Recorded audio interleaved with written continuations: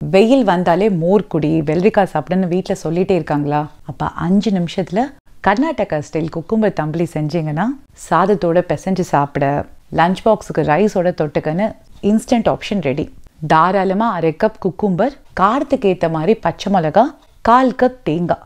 தேவையான அளவு உப்பு ஃபஸ்ட்டு நல்லா விழுதாக அரைச்சிட்டு அரை கப் கெட்டி தயிர் சேர்த்து திரும்பவும் எல்லாத்தையும் நல்லா அரைச்சு இந்த கன்சிஸ்டன்சிக்கு ரெடி பண்ணிக்கோங்க. முன்னாடி வேற மிக்ஸி ஜார் இருந்தது இப்போ மாறிடுச்சேன்னு கொஷின் தானே கேட்க போறீங்க?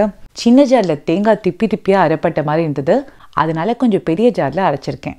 அரை டீஸ்பூன் தேங்காய் எண்ணெய் சூடானோடனே கால் டீஸ்பூன் கடுகு போட்டு பொரிய விட்டுட்டு அரை டீஸ்பூன் சீரகம் கொஞ்சம் கருவேப்பிலை ஒரு வரமிளகா போட்டு தாளிச்சிட்டு பெருங்காயம் சேர்த்து மிக்ஸ் பண்ணிட்டு நம்ம ரெடி பண்ணி வச்சிருக்கிற குழம்ப ஒரு பாத்திரத்தில் மாற்றிட்டு உங்களுக்கு குழம்பு எந்த கன்சிஸ்டன்சியில் வேணுமோ அதுக்கேற்றபடி தண்ணி ஊற்றி நல்லா கலந்து விட்டுக்கோங்க.